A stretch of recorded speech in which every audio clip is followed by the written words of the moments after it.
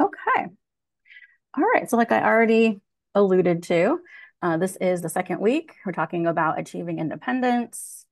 And before we go really much further at all, I just want to take a second um, to pause and make sure that people are clear when we say intervention, when we say activity, um, that there is actually a difference between an activity and an intervention. When you do your progress note, if you'll remember, you'll choose an intervention and then underneath the interventions are a variety of activities that you can select from.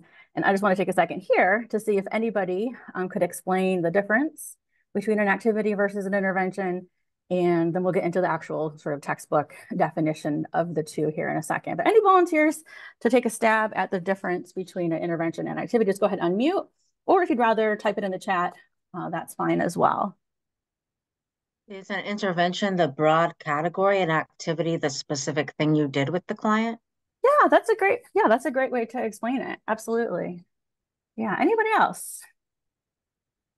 Intervention versus activity because there is there is a difference. And thank you, Sarah. Thank you, Sarah, for sharing that.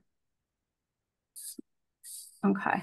Well, let's talk about kind of the nitty gritty. Um, basically, what Sarah just said, the intervention is kind of the broad service provided to the client. I think of it as what you did with the client. The activity, on the other hand, is kind of the tool that the TBS used to provide the service. So how you help them work towards their particular goal. Um, I kind of think of it as if the intervention is building a birdhouse, how did you build the birdhouse? With wood, with nails, with a hammer, with glue, with paint.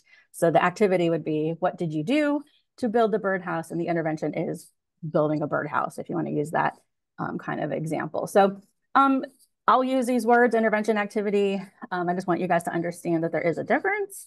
Um, and we need both, you know, information about um, why did you do that particular intervention? Why did you use that particular activity? This is kind of the golden thread of medical necessity, sort of showing based on these symptoms, I chose this general intervention, but based on this client's you know, specific symptoms that they're experiencing, maybe just today, I chose this specific activity, this um, skill building activity, this particular coping skill to work on to help them achieve kind of their overall goal. So I just wanted to make sure um, people were clear on the difference because we throw these words around and I want to make sure we're kind of all on the same page. So intervention and activity are different.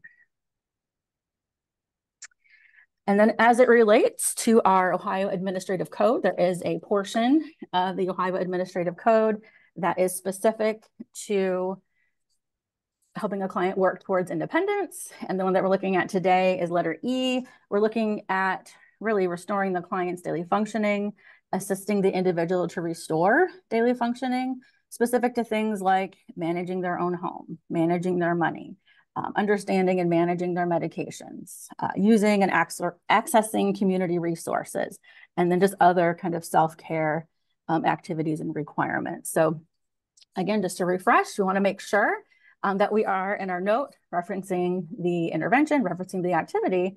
And if we are working towards achieving independence, as being the broad intervention, we know that the services that you're providing, the activities that you're doing um, are reimbursable by Medicaid because they are sort of provided for in the Ohio Administrative Code. So that's why we like to touch on that um, pretty much almost every week, just to remind you of why we have the 10 interventions and why it's so important to uh, reference back to what you did, why you did it, and how you did it with that client.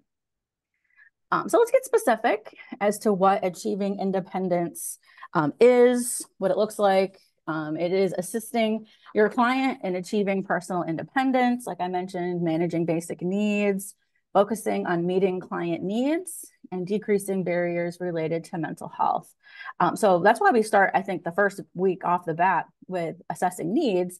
Once we know what those needs are, we can help the person to get those needs met, reduce barriers, and one of those needs may be achieving independence, being more um, self-reliant in certain areas, but mental health could absolutely be a barrier um, to a person achieving that goal. So kind of the overall goal for achieving independence is for eventually the client to do this task that we're working on with them independently or with some accommodation or with as minimal supports necessary. Um, so we want to work ourselves out of a job. We want to always be working towards discharge, and that should sort of be evident in uh, the tasks that we're supporting the client with and uh, sort of the overall goal that we're working towards uh, with the client. So why? Why is, you know, why was achieving independence even included in those 10 interventions in the Ohio Administrative Code? Um, hopefully, um, by working on achieving independence, we're supporting our clients to live with equal opportunities to everybody else, you know, other people who have and who do not have mental health diagnosis or developmental disabilities, and to thrive in their life on their own terms and on their own conditions. So what is important to them? Is it important for them to be able to take the bus, either independently or with minimal supports? Is it important to them um, to maybe walk, just walk down the hallway, you know, independently or with, with minimal supports? What is important to them and how is mental health a barrier? And as we work towards achieving independence, you'll see along the way that even just little tiny accomplishments can help a client to build self-confidence, help them to feel empowered, more have a more positive outlook on life, and just kind of feel fulfilled. I know sometimes, especially working with clients who are in a residential facility, they may feel like there is nothing good about their situation. There is nothing positive that can come from it. But if we can just increase their independence a tiny little bit, as long as it's medically safe and as long as it is um, appropriate for them and their needs and their functionings, that can maybe give them one kind of glimmer of hope. You know, being in this long-term care facility maybe isn't as bad as I think it is, and I can maybe make progress even if it is small. So that kind of sums it up with the last uh, PowerPoint um, point at the bottom there, the increasing independence can lead to a client feeling empowered. You know, I can do this, I can do this task, or I can do part of the task and to advocate for themselves, to take action towards their goals, and ultimately experience, hopefully, a decrease in their mental health symptoms and um, an improvement in their level of functioning. So essentially, it kind of gives the client, even if it's a small amount of control, a certain amount of control over their life, over their future, over what happens to them on a daily basis. So those are some very important whys right off the bat.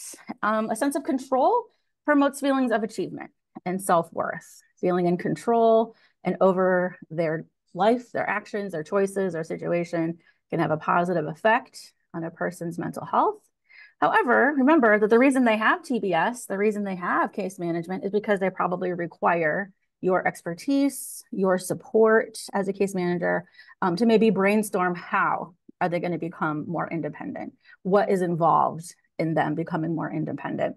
Um, they're looking to you really to have unique approaches, maybe in seeking out accommodations. They may not know um, that there are maybe things to help them shower more independently, like a shower chair or a uh, you know a shampoo visor, or like we could maybe improve the lighting in the bathroom. Um, they may not have even thought about that, but that could lead to them being more independent, um, and then also to overcome any mental health symptoms that may prevent them from being um, independent. So I want to pause here. I've mentioned like five or six whys that achieving independence is important uh, to the clients that we support, but I want to check in and see if I missed any or if you thought of any other reasons why supporting clients to be independent um, is important. Just go ahead and unmute or you can put it in the chat. Why achieving independence is important. I think it gives them a, a, a feeling of self-worth Absolutely. Absolutely. You know, that they they they can still do things even though, you know, everything's been against them, so to speak. Yeah, absolutely. Even if it's something small. Anybody I think else? particularly uh, people in long term care with the uh, the sense of control is mm-hmm. a big thing for them because when a lot of people complain about you know not really being in control of their medical care when they go in and stuff like that. So encouraging them and motivating them to to use that voice of theirs and advocate for them absolutely. Absolutely. Yeah you're right. They don't have control over much but maybe let's focus on what they do have control of or maybe bring to bring to their attention what they might not be aware of that they actually do have control over. That's a great point. Thank you justin. I know I have a client in one of my facilities that we're actually trying to help him find like um, assisted living placement. So just being able to teach him how to do certain things that he's not had to do for himself, like, you know, like giving him refreshers and stuff and making sure that when he is able to get out of the LTC that he's successful, you know, because his biggest fear is ending up back in Yeah. So the achieving independence, I think, will help him like be prepared for that next step. Yeah, that's a great point. Maybe if we can increase independence now, that can maybe prevent, you know, another um, another placement, another hospitalization, um, if they're regaining um, independence that they used to have, or maybe learning some of these skills for the first time. That's a great point. Thank you. Anyone else? Why is achieving independence important for case management? Well, I was going to say basically, um, think about it from the standpoint of one day, all of us are going to be in the same position. You know, some sooner than later.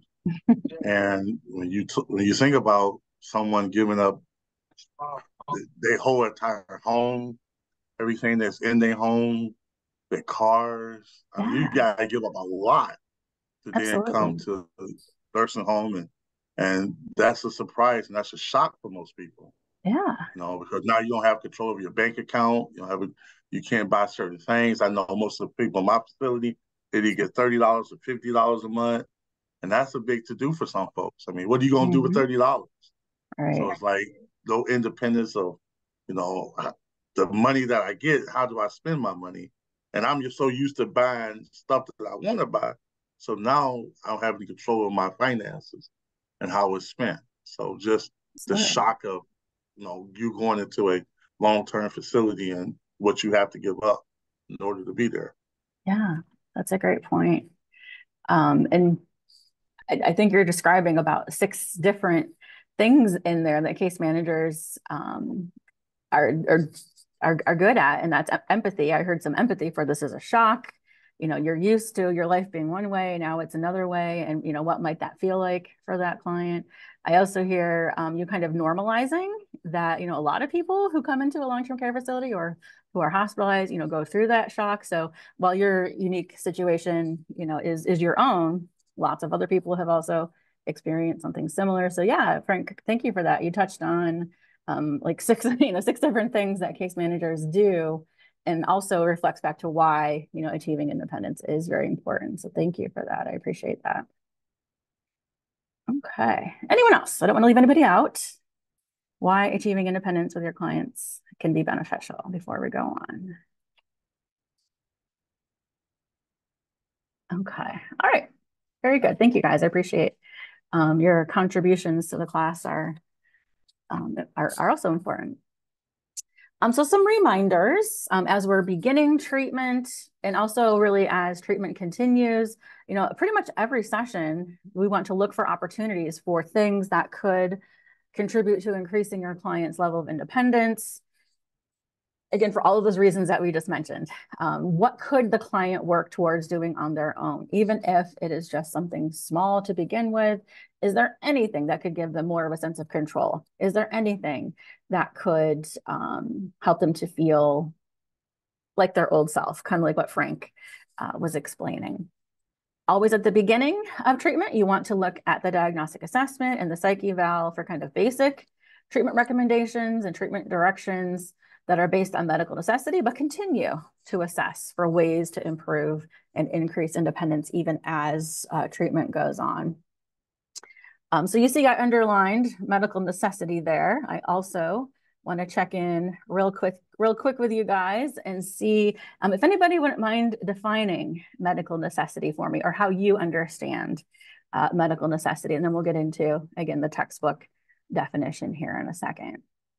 So any brave volunteers to explain medical necessity, how you understand it, or you can put it in the chat. That's fine too.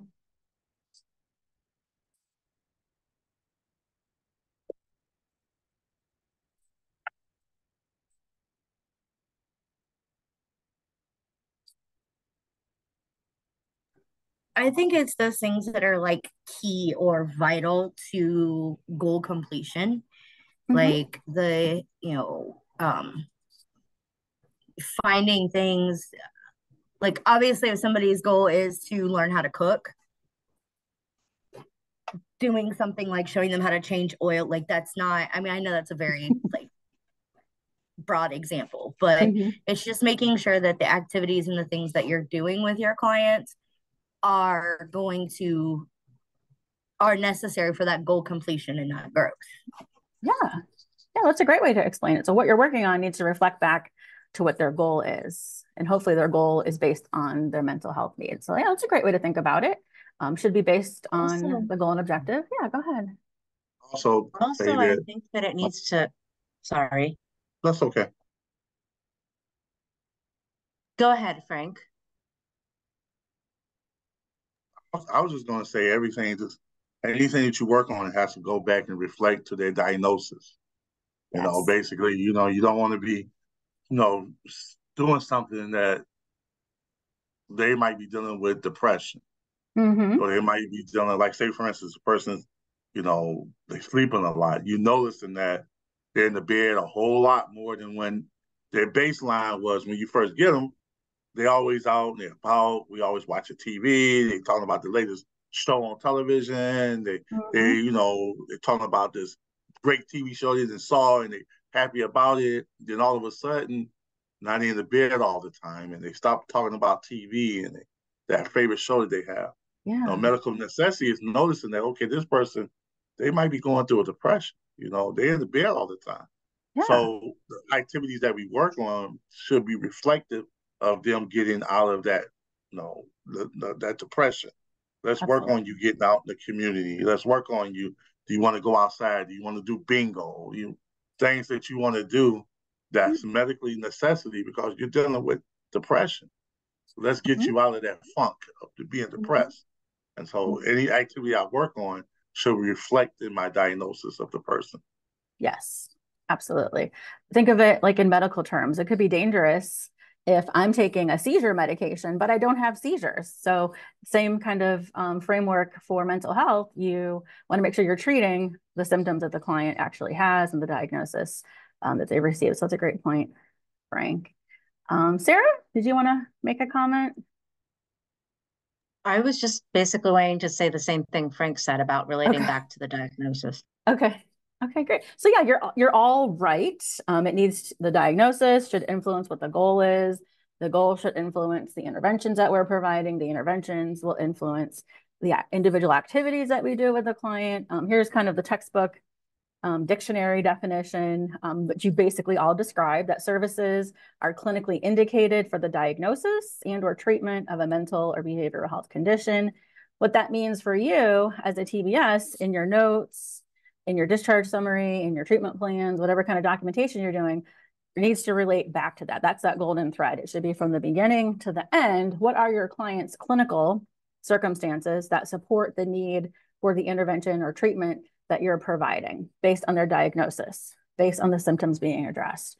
What it boils down to is how did this intervention or activity help your client meet their goals, which I believe is what Autumn said, whoever spoke first, um, that was a great way to um, summarize that last bullet point. So medical necessity is kind of this word that I think we throw around a lot, like, oh, we need to show medical necessity, the golden thread of medical necessity, but not very often do we um, get very specific on what that actually means and what that actually looks like. So this is um, another item that we're looking for in your progress notes that you have doc documented medical necessity. Um, that not only is that providing good care to your client, but also it ensures that we can bill um, insurance, Medicaid for the services you're providing. So it's kind of two sides um, to that coin.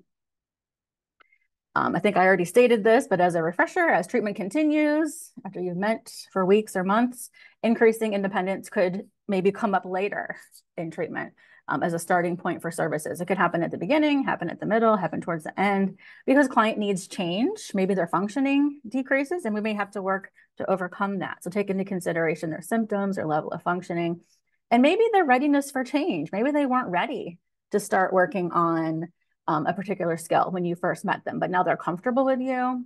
They have a therapeutic relationship with you. They trust you. Maybe now they're finally ready um, to make changes or to learn a new skill. Maybe won't seem as scary now that they have um, supportive helping professionals um, in their life. So great, great job, guys. Great job um, explaining medical necessity. Appreciate you guys sharing. Um, you guys gave some good examples. Um, so kind of getting into the middle of treatments, you know, by now you should know your client. Um, like I said, really understand their needs because you have a good rapport, a good therapeutic relationship with them. So as you're having these um, sessions with your client, as time goes on, you may now hear them expressing new needs or different needs as far as independence, control in their life, mental health symptoms um, may be a barrier to them achieving this independence, either with your support um, or without it. Um, so my example, you know, for that is maybe your client has, um, you know, severe anxiety. You know, is that the barrier to them leaving their room? Is that the barrier to them, you know, getting on their bus um, and going grocery shopping on their own? And maybe because of that anxiety, they're not leaving their room. Because of that anxiety, they're not doing their own grocery shopping. If we can help them decrease anxiety, you know, if it's medically safe, perhaps they could start to do these things. So listen always for needs or areas where a person could become more independent. But I also don't want um, to neglect or to gloss over that there are often barriers to independence, not only their mental health diagnosis, but could also be a barrier to independence as far as your client's communication. Um, certain clients may become prompt dependent, and that is a barrier to independence. We'll talk about what that is here in a second, or they may actually have physical medical limitations or a disability. That is a barrier um, to their becoming in, more independent. So despite them wanting to do some of these things on their own, there may be um, a reason uh, that they cannot or have not yet. Again, looking to you as uh, the professional, as the expert to help them to overcome uh, some of these barriers. So let's get into each one of these and what that may look like um, as far as your clients that you're working with. So um, some communication barriers that you may notice is that your client may have um, difficulty expressing their needs. They may have expressive, um, maybe there's a trauma history, maybe it is because of their symptoms, but they just may have difficulty expressing their needs. That's why we need to be, you know, good active listeners, maybe talk to other providers, read their chart to perhaps get this information if your client is unable to express it to you. Maybe they have limited verbal skills.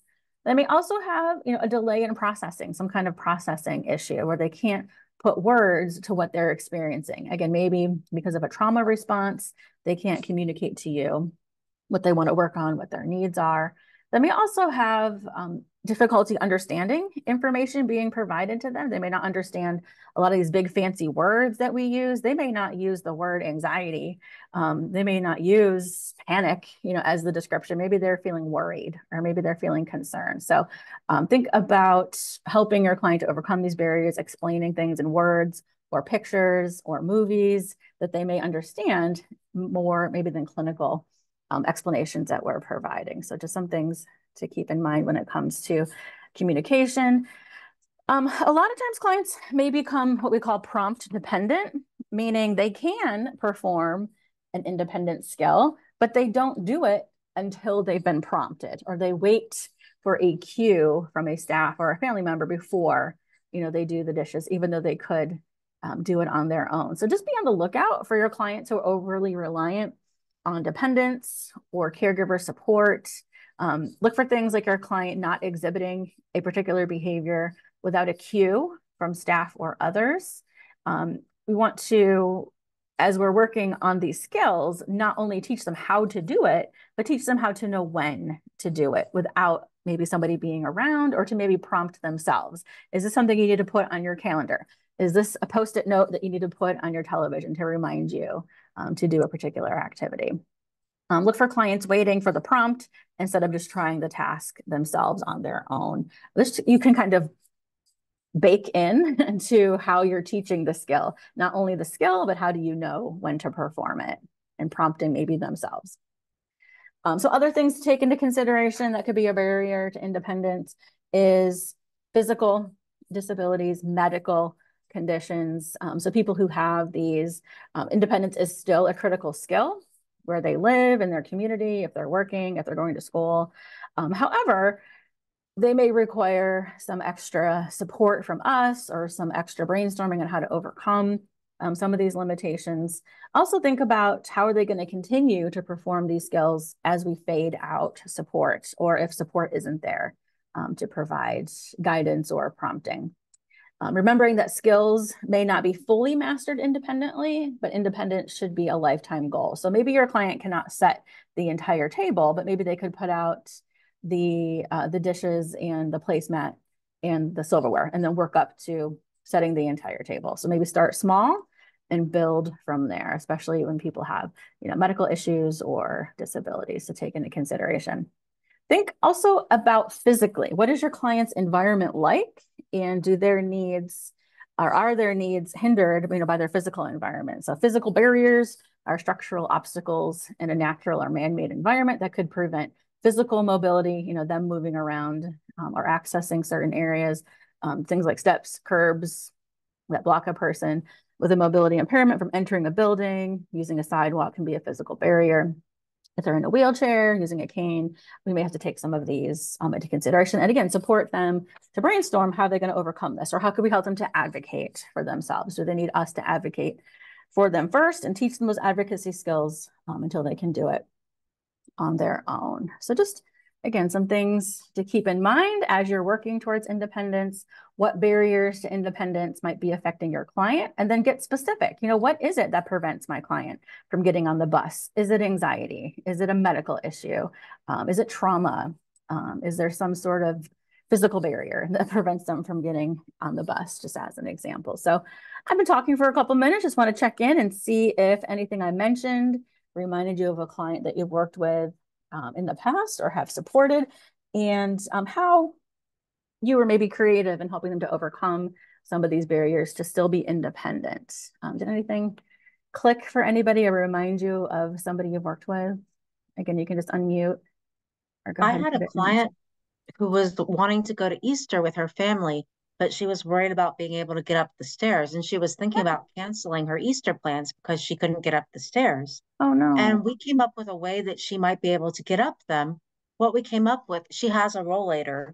So um, we came up with having one of her family members put the rollator on the next step up and she could sit down in the rollator and swing her legs around onto the step and go up each step that way. And I came back the week after Easter and asked her how it went. And she said, it worked. I was able to go to Easter with my family. And she was just so happy about that. That's great. That's awesome that you're able to support them in that. Um, for those of us who don't know, myself including, what is a rollator? I don't know that I've ever it's encountered like a walker with four wheels and a seat. Oh, oh, I see. So she used that to get up. Yeah. Oh, okay. I never heard it called that before. Okay. Great. What a great brainstorming. And, you know, what a great um, support that you provided and encouragement um, to help her have a good Easter with her family. That's excellent. What a great, what a great um, example. Um, anybody else? So I have a client. Um, she's an older lady, absolutely a sweetheart.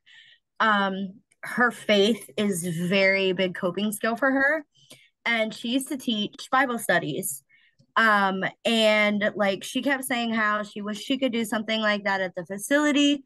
So we, um, I set up a meeting with the activity director for her, and she talked to her, and they're allowing her to do that like every other Thursday. Um, but then it was, well, I'm afraid like it takes a while to get me to get help in the mornings to get up. Like, what if I'm late? Like, so, you know, we brainstormed and came up with the idea of, okay, well, let's, why don't we lay our clothes out the night before, you know, so that that's one less thing that you have to do in the morning. Um, because I mean, she is pretty self sufficient. She just kind of needs stability help, mm-hmm. um, when she first gets up in the mornings. So just having that, like, you know, other than being sick and missing a like a week, she does very very well with it. Like I've went in and sat with her during her um, and now she's able to do it without me like being there to help her. They moved it to a day where I'm not there. So, um, but just helping her brainstorm those ideas on how to be on time and things like that really changed her mindset. Yeah. That's a great example. I know it sounds very simple. You know, oh, you know, of course, put your clothes out the night before, or of course, you know, do some of these things ahead of time. But, you know, when you have anxiety, when you have depression, it may not even seem possible to get out of the house on time or there's too much anxiety about doing it so i really think that's where case managers therapists you know play the important role is to we're not really suggesting anything that's you know too too out there, but they may not, because of their symptoms, have thought of it or think it's possible. So I think that's a great example of something small that can really help somebody to become more independent and um, get where they want to get when they need to get there. So thank you for sharing that. I appreciate it. Um, anyone else? Maybe somebody who's not Frank or Sarah or Angela. Somebody else maybe who hasn't shared. I'm sorry, I'll say something. yeah, please go ahead. I really don't have an actual. Um, I have more of a question, but this is actual idea. That's something I want to do as far as independence. Now, one of my clients, um, he had a real bad brain injury. Mm. Um, and then on top of that, he also has he's dealing with depression. He has a little bit of anger popping off, but we're trying to manage it. We're trying to manage. We're managing pretty good. But one of his biggest things, he is a funny guy. Everybody loves him. He's funny. He's and that's one of my biggest things. I keep joking with him, but I keep reminding him this like this, this is an idea I kind of want you to get used to because everybody loves the fact that you make them laugh. So I um collaborated with the um, activities coordinator and I asked her, I said, well, maybe one day, because we're always thinking about different things to do in the activity room. And I said, maybe one day we can like put on like a comedy show, like a comedy skit or something. And he can actually, he can facilitate it for everybody just to keep him involved. And, but I don't know if he'll really go through with it. That's awesome. That's a great yes, idea. That's yes, amazing yeah, let us know how that goes. I'm curious. That's, that's, a great idea. And that's absolutely related to independence. You know, um, you may be encouraging them or you may be kind of behind the scenes to help advocate, but it sounds like he's going to be the one literally like running the show. So what what a great way to feel good about being independent and um, you know, basically doing doing the work, you know, of, of running the show on their own. So that's great. What a good idea. All right. Well, thank you guys. Um, let's kind of get into um, the handouts that Donnie sent to you. I believe there was like nine at least um, that were sent. They're all sort of just different variations of interventions that you can use for helping your client to achieve independence. So um, we may not actually go over all nine of them in class, um, but what I hope you get is just kind of the main idea behind all of these um, because it's just going to be a great way to document really what they're already independent in and kind of positively reinforce that independence. It's also a great way to identify what can they do, maybe with some support, they need some help with it, and then also to identify maybe some areas that they need um, to work on. So um, that's kind of the idea that runs through all of these different um, activities that were emailed to you. We'll just kind of um, go over some of them so you have an idea of how you may use them um, in, in session with your clients. Um, so the first one is about the activity checklist, which I believe is um, handout 2.1. And uh, what you need to know about this is people with intellectual disabilities, cognitive delays, brain injuries, even just uh, mental health diagnosis in general, um, because of their symptoms may need assistance either learning or relearning how to complete daily activities, household tasks, um, they're going to feel a sense of satisfaction and a sense of accomplishment when they're able to learn things like maybe cooking, cleaning on their own, hygiene, um, just kind of those things that you and I take for granted. Um, so some examples of tasks, and these are not all inclusive. Your client may be very different. Their needs uh, may not match to this, but just some things to think about, putting laundry um, in the washing machine, folding clothes, putting them away, preparing food, shopping for groceries, uh, completing self-care, hygiene, you may want to think about the format of the checklist. It may include pictures and words. It may just be words. It may be just pictures. Um, so think ahead of time before you start teaching um, these independent skills. How does your client learn best? We're going to talk about uh, learning styles a little bit later um, in the series, um, but maybe get their input. And how would you prefer to receive information? Pictures, words, both. Um, so before you begin to teach a task, you also want to think about how am I going to teach it? Break it down into a series of steps that are kind of manageable for your client to handle. Um, while you, you know, have been washing your clothes for so long, you might not even think about all the steps that are involved. If you actually sit down and think about all of the steps that go into washing your clothes, there's quite a few. Your clients may need more support um, in learning it, and also learning, you know, what does it mean to um, to maybe sort the clothes. You know, what, what what's white? What what are colors? What needs hot? What needs cold? You know, we already kind of know this information, but they may need some more education about it. So be specific about how to sort clothes. and Maybe show them how to read the tags on their clothes, demonstrate the task, then have the client try it themselves. Once they're proficient at that portion of all of those steps, move on to the next step and then continue to practice them in order. But I will caution you, you know, only keep practicing as long as your client is engaged. And I would say make sure it is a skill that is important to them. If they could care less about how to do the laundry, they're probably not going to be engaged or interested in it. Um, so only do it as long as they're into it, make it a positive experience, give some positive feedback, give some praise as they master the different steps along the way.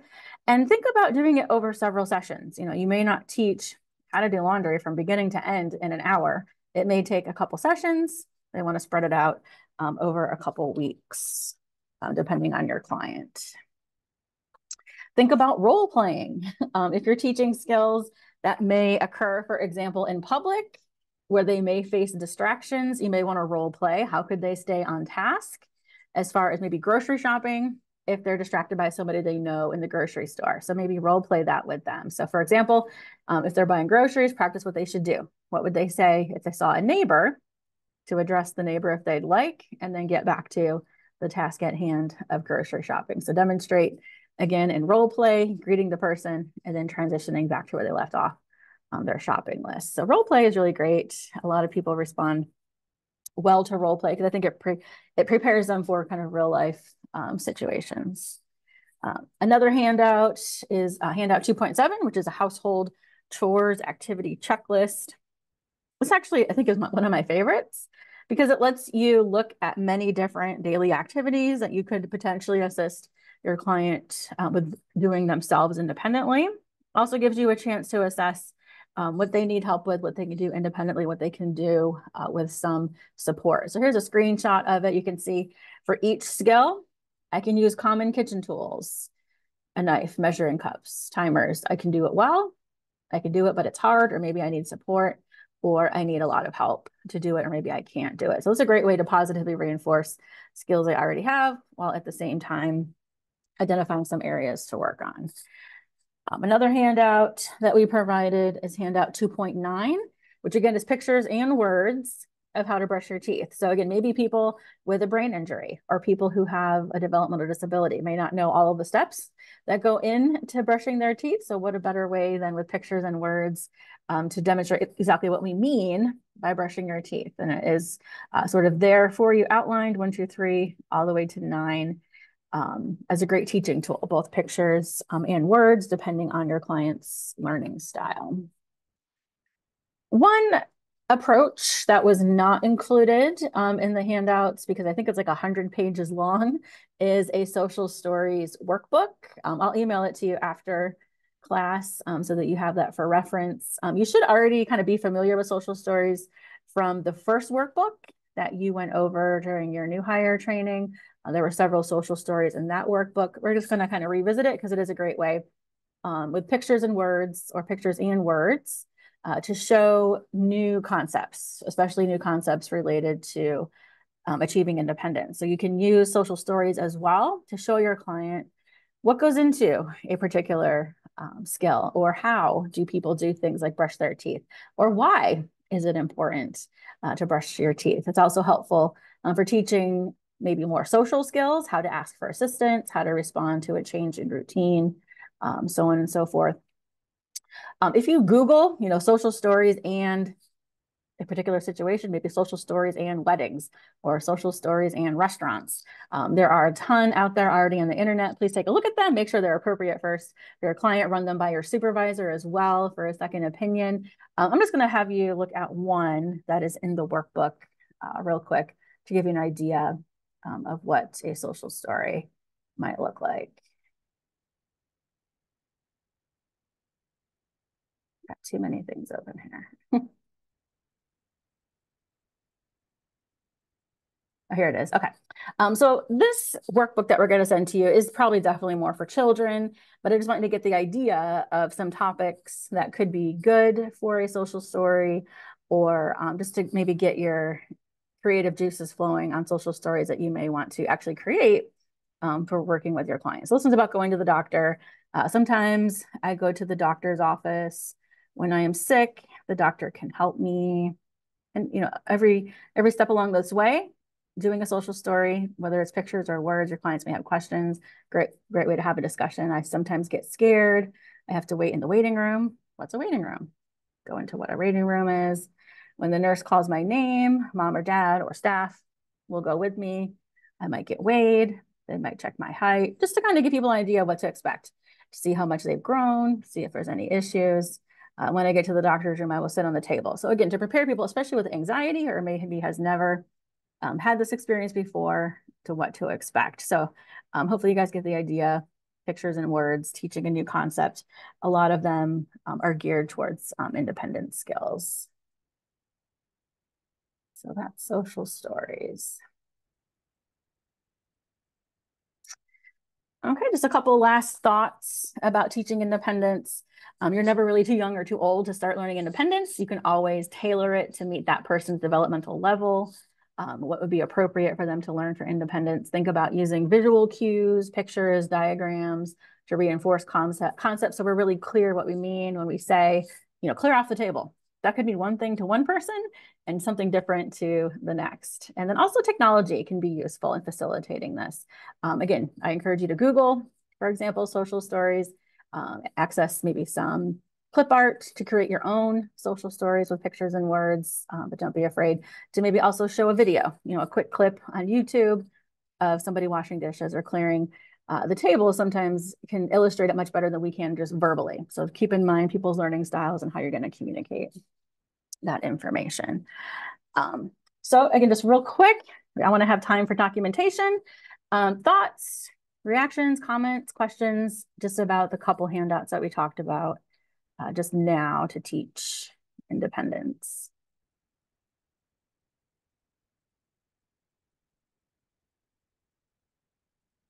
Okay, may look different. You know, again, depending on your client, if you're working with somebody in a day and employment services setting, different independent skills are possible to be taught in that situation versus in the community, versus in a long-term care facility, versus in the office. Um, so this is not meant to be um, you know, everything that you need to know about achieving independence, but I hope you take these ideas and then apply them and what would make sense for your client. So use a variety of techniques, practice, practice, practice to reinforce, and don't forget to praise your clients as they make progress along the way. Very important. All right, so let's talk about documenting how you would provide the service or the intervention of achieving independence. Always want to link the interventions and activities that you're providing back to the mental health symptoms. That is essentially medical necessity. And then also be clear what the specific barriers are that you're supporting the client to overcome. Um, do they need to do some deep breathing to reduce anxiety to get on the bus? We're not just teaching somebody to get on the bus. There has to be that mental health component as well, because we are providing mental health case managements. Um, when we are doing our progress note, again, just a reminder, we need both the intervention and then the specific activity that you engage the client in. Um, if you're unable to choose it from these uh, check boxes, please mention it in the body of the note and what um, independent skill you engage the client in if you don't see it listed there. And then let's Question. talk about, oh yeah, go ahead. Did you, I'm not sure if I missed it, did, for the um, check boxes, Mm-hmm. Is there a specific one that we would do for if we were teaching people about, oh, never mind, at the top. Okay. Activities of daily living skills. Never yeah. mind. But even within that, like teeth if you, brushing if you want, and stuff. Yeah, if you want to mention um, in the body of the note, you know, client engaged in um, completing household check, household chore checklist, that tells us exactly, you know, what activity you engage the client in to teach activities of daily living. Or you know like you mentioned hygiene. Was it teeth brushing or what was the mm-hmm. actual um, yep. activity that you engaged in? Just make sure you mention that. Yep good question. Good Thank question. You. yeah no problem. Um, so the client response again should just be the client's response to the interventions and activities that you checked below um, you can use the check boxes here to give us a sense of to what extent did they participate other um, responses from the client? Were they able to identify needs along the way as you taught independent skills? Were they able to identify symptoms that this um, independent skill could help them to reduce? Give us a little bit more information there. Don't be afraid to use those check boxes, but let's talk about what actually goes in the client response box. So here, I'll just go ahead and read it for you in case you're on your phone. Uh, Sally shared anxiety about slipping in the tub, agreed that applying anti-slip strips would help her feel safer, as would getting a shower chair. Sally shared due to a dexterity issue, washing her hair is often difficult for her. She gets shampoo in her eyes, and so she often skips it. Sally shared that after a shower, she does enjoy the clean feeling and is more likely to want to socialize. However, noted, it's just so much work, and sometimes I don't have the energy for it. Sally stated she's proud of making progress with brushing her teeth and using deodorant and noted an increase in this based on her hygiene chart.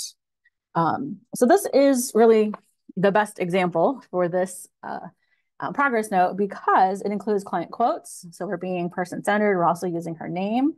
It references anxiety. It says right there, Sally shared anxiety and also kind of the effect that it has on her life. When she doesn't shower because of the anxiety, she doesn't want to socialize. Um, she doesn't have the energy for it. So maybe also some depression might be going on there. And then we also have the specific activity. Sounds like we're checking off on her hygiene chart how often um, she's performing her hygiene activities. Um, so that is also listed um, and highlighted in yellow. So for all those reasons, um, this is kind of the best example. And I know Sally's not real. It may look different uh, with your client, but that's kind of what we're looking for as far as the components of the note.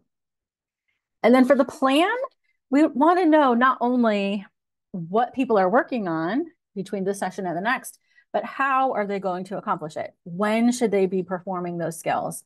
With whom should they be performing those skills? How are we going to make sure that progress is made? So our, our plan here, I'll read you the highlighted one. Sally agreed to budget and shop for a shampoo visor to keep shampoo out of her eyes, anti-slip strips to shower to help prevent falls, and a shower chair with support from her staff to decrease anxiety. So we're not just getting these things or helping Sally to get these things to be a nice person. It's linked to her anxiety associated with showering. Um, and then to kind of put it into practice, Sally agreed to plan two social outings during the next week and to shower before each outing to overcome symptoms of depression and increase socialization. So this is real specific. What exactly is she going to do? How is she going to do it? Who's going to help her? And the kind of the rationale. We're trying to help her overcome anxiety and we're trying to help her decrease her symptoms of depression and have some more um, socialization in her life. Um, so we got five minutes left. Just real quick, um, always want to be working towards discharge. That could look like planning how your clients are going to maintain or increase their independence once they're done with you. Does that require referrals from you to other services? Do they need accommodation set up before we discharge them? Always want to reassess needs. This models for them how they could advocate to get those needs met. Also may give you an idea about what services may be appropriate for them to refer them to after discharge so they can maintain their progress uh, towards independence. You can have this conversation about independence with a client, with their guardian, with their staff. Probably a good idea to take a team's approach um, towards maintaining or improving independence. And other things you can do um, is to maybe complete a SNAP assessment and then include your findings on the discharge summary and share that information with your client and their perhaps guardian as well. Um, so just a couple minutes left. What questions do you guys have about achieving independence? And do you feel as though you could implement some sort of achieving independence activity with your client um, to do a progress note about for next week? Just go ahead and unmute or you can put it um, in the chat is fine. Okay, so I have a client who is struggling with depression. It's the same one he's trying to get out of a long-term care facility into assisted living. Um, and one of the goals that we have set is for him to be able to get up and walk around by himself because he feels like nobody has the faith in him to, to actually succeed. Um, and they say the large part, like part of that is because he's not active. Hmm. So in the in achieving independence, like it's okay for the plan to say like he's gonna start by walking with me, like a couple of times during session to and then hopefully gradually be able to get out and walk by himself. But that's still the considered the achieving independence, even though he's doing it with me, right? Yeah, absolutely. I mean, first I would want to make sure okay. medic medically he's cleared Um, so maybe checking in with a nurse, um, checking in with some orders to make sure that he medically is safe enough to do that. Um, he is. He just once, is. sounds, sounds, like, sounds like, there's some anxiety about it, or yeah, yeah, depression, motivation to actually do. It. Okay, so once he's medically cleared to do that, then absolutely, yeah. So we don't expect people to just off the bat start doing a new skill that they've never done, or um, to restart doing something that they have stopped because of anxiety or because of depression. So absolutely, there's baby steps, literally, like along the way that we can support somebody with um, with support from us. We can maybe help them make arrangements and brainstorm who else could you maybe take a walk with? Could you schedule a walk, you know, with a peer down the hall? Um, and then eventually the hope is he'll be doing it either completely independently or if safety is a concern, you know, who could support him in making arrangements to make sure that he's safe. Um, so yeah, don't expect people to do it right off the bat, um, completely on their own, but that that's probably the goal, you know, as long as it is safe uh, for that person. So that's a good question.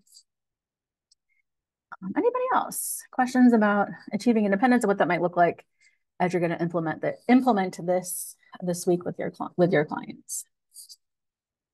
Okay, I have more. it's more of a question.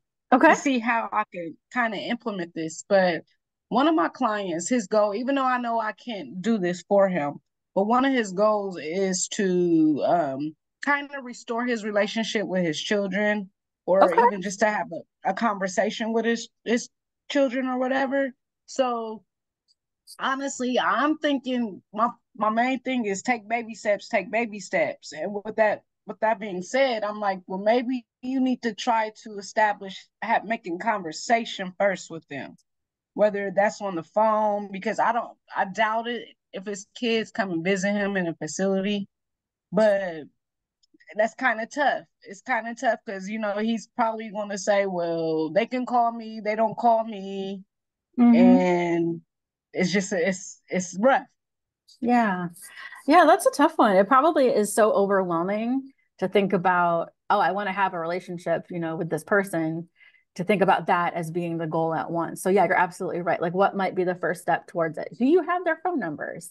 Um, you know, what might you talk about? Could you make a list of three things that you might talk about, you know, with yeah. that person? Um, could you text, maybe start out first texting them? Um, could you role play with me what you want to say with that person? You know, what is the barrier? What what has kept them thus far from picking up the phone and making the first phone call? So maybe yeah, back backpedaling a little bit. What's been their barrier to doing it by themselves and kind of doing it maybe along with them or practicing um, with you know doing a role play, maybe practicing with them what they might want to say, and then you know not not going too fast. You know, again, they're not going to have a relationship with this person tomorrow but what, you know, like you said, baby steps could they take today to work towards it? That's a great, you might not think about that being an independent skill, but it, it really is because something's preventing him it from is. doing it. From something's preventing him yeah. from doing it on his own at this moment. So that's a great. And he wants to make everybody laugh at the same time. So I'm like, what's Aww. going on? Why are you trying to make everybody laugh? right. But, okay. I understand. okay. All right, guys. Well, I hate to cut this short, but I actually have a four o'clock TBSU class that I got to get to. Um, after my four o'clock class is over, so at five, I'll send the video. Um, if Donnie hasn't already sent you the quiz, um, I will send that to you at five. Um, but great discussion today, today, guys. Good examples. Um, I can tell you guys are thinking about how you're going to use this with your clients. So that's the whole point, really, of TBSU. Um, so direct any questions either towards me or Donnie. And Donnie should be back with you guys uh, next week. So have a great week and take care. Thank you. All right. Thanks, guys.